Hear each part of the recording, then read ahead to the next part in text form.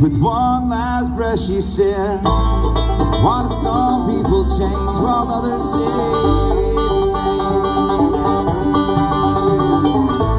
You've always been different, don't you ever change.